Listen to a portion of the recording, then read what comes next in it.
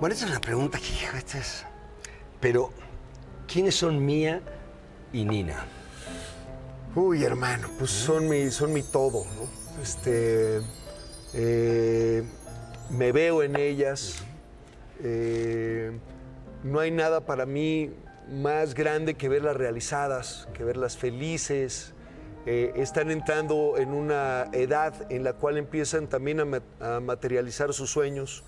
Eh, son dos personitas muy- están muy chistosas porque son muy responsables, o sea, de- demasiado. Y hay momentos que les digo, no, afloja, no pasa nada. Si no vas a la escuela, si truenas una materia.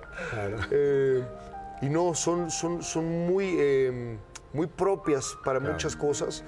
Y bueno, pues he, he tenido además la fortuna de poder trabajar con ellas y compartir nuestras pasiones, porque a las dos les apasiona la música. Las dos componen, las dos cantan. Este, una ya de manera pues en donde ya tiene, está pisando un, un escenario, yo creo que de los más grandes, al lado de, de un talento ¿no? este, de primera. eh, y la otra igual, en teatro, o sea, se me cae la baba, ¿qué te puedo decir? Y lo más importante es que tengo una gran comunicación con ella, con ellas, me doy cuenta porque me cuentan todo y eso para mí es un regalazo, hermano. Muchas felicidades. ¿eh? Gracias. Fíjate que la fortuna, la fortuna no, no llega de, de manera fortuita, por decirlo de una forma. La fortuna se construye.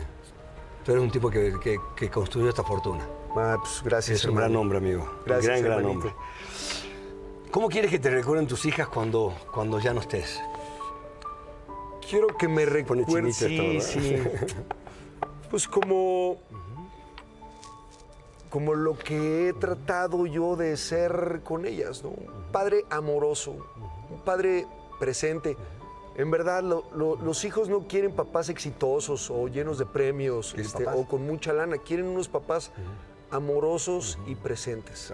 Y eso es lo que yo he tratado de, de- de hacer con mis hijas. Obviamente que eh, tenemos un trabajo que por momentos ¿no? No- no- nos puede alejar un poco de la familia, pero calidad, ¿no? Calidad eh, y estar presentes y estar ahí en todo momento. Este, ¿Tú sientes, que, ¿Tú sientes que a través de tus hijas estás cumpliendo sueños o, o- o- o sientes que estás respetando el espacio de ellas y para que ellas los cumplan solas? Sí, este, acabas de decir algo, eh, lo cual he, he tenido como muy presente. No vivir ¿no? mi- mis sueños a través de ellas. ¿no? Exacto. He dejado que ellas vivan los suyos ¿no? y dejarlas. ¿no? En verdad que, o sea, el que ellas hayan pedido a Santa Claus una batería a los cinco años, pues es un claro ejemplo que eso les llamaba, ¿no? Igual tomaron clase de baile, igual a Nina le, le encanta la cocina, por ejemplo. Ah, y entonces apoyarla también. en- Claro. en- o sea, si ellas hubieran querido ser lo que fuera, yo las hubiera apoyado porque precisamente quiero que vivan su vida. Te digo algo, fíjate, no soy adivino, pero sé que cuando tú ya no estés, ellos van a decir, tuvimos el mejor. Te lo aseguro. Pues este, por lo menos lo intenté. Te lo aseguro, te lo aseguro.